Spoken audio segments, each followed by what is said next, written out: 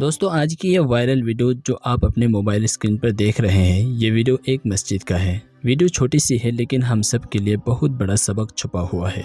आप इस वीडियो में देख सकते हैं कि एक लड़का दो छोटे छोटे बच्चों को लेकर मस्जिद में मौजूद है। सबसे पहले इस लड़के ने खुद नमाज़ पढ़ी और फिर बाद में इस छोटे लड़के को नमाज़ पढ़ना सिखा रहा है। आप इस वीडियो में देखें कि किस तरह ये लड़का इन बच्चों को नमाज़ पढ़ने की तरगीब दे रहा है और इनको सिखला रहा है कि आप रुकू करें फिर आप इस तरह सजदा करें और फिर खड़े हो जाइए। दोस्तों, अपने बच्चों की बेहतरीन तालीम देने का यही तरीका होता है। अगर आप शुरू से ही बच्चों को इस्लामी तालीमत से रोशनास करा देंगे और उन्हें दीन की बातें सिखाएँगे, आगे जाकर ये बच्चे आपके सर दर्द का सबक नहीं बनेंगे और दीन पर चलना उनके लिए आसान हो जाएगा।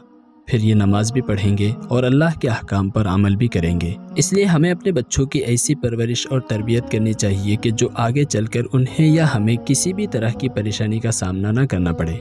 दोस्तों, अल्लाह ताला से दुआ है कि अल्लाह ताला हमें और आपको दीन पर सही तरीके पर चलने की तोफ़ी अता फरमाए। बहरहाल, इस वीडियो के बारे में आपकी क्या राय है कमेंट सेक्शन में लिख के हमें ज़रूर बताइए। और वीडियो पसंद आई हो तो वीडियो को लाइक करके अपने दोस्तों के साथ ज़रूर शेयर करें। शुक्रिया।